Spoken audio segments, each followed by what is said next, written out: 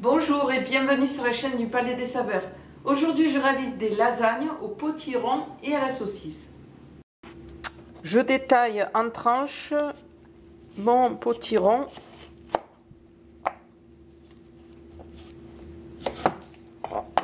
Et je viens disposer ces tranches sur une plaque allant au four. Ensuite, j'arrose le tout d'un filet d'huile d'olive. Ensuite, je saupoudre de fleurs de sel.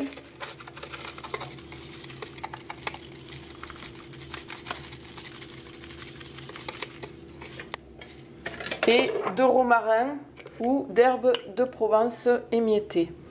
Et j'enfourne pour 30 minutes à 180 degrés pour rôtir ces tranches de courge.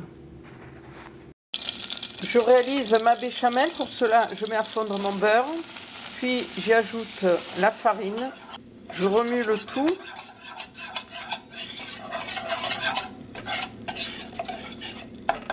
Je cuis deux minutes. Et puis ensuite, je verse le lait. Un premier tiers, le lait toujours froid. Hein. Un premier tiers que je mélange au fouet Et dès que la préparation épaissit, je verse le reste du lait. Et je mélange jusqu'à obtenir la consistance souhaitée. Et je parfume cette béchamel avec les épices qui m'ont servi à parfumer la courge. Je sale et je poivre et je réserve. Je mixe mes viandes. La chair à la saucisse, ensuite le poulet et l'ail.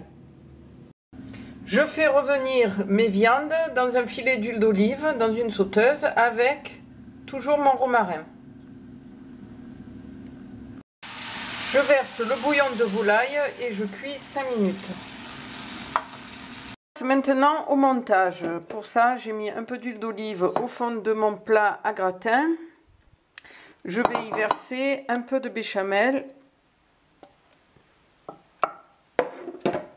Ensuite, les feuilles de lasagne.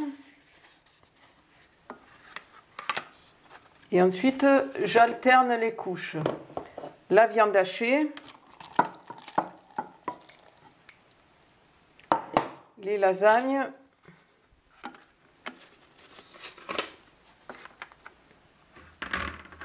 Les potirons.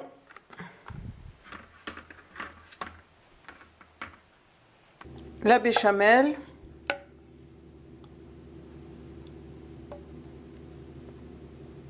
Et je renouvelle l'opération. Et je termine mon plat par les potirons et la béchamel.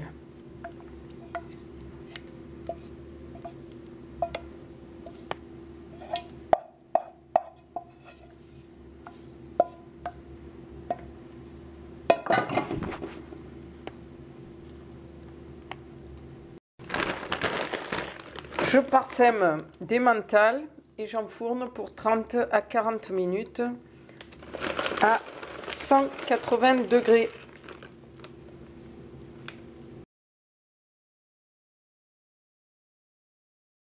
Voilà, ça change de la recette à la bolognaise, mais ça je le dis assez souvent parce que souvent je vous propose des recettes un peu déviées, des variantes, euh, des recettes classiques qu'on a l'habitude de faire. Et donc personnellement, je me lasse un peu et j'aime bien découvrir de nouvelles saveurs.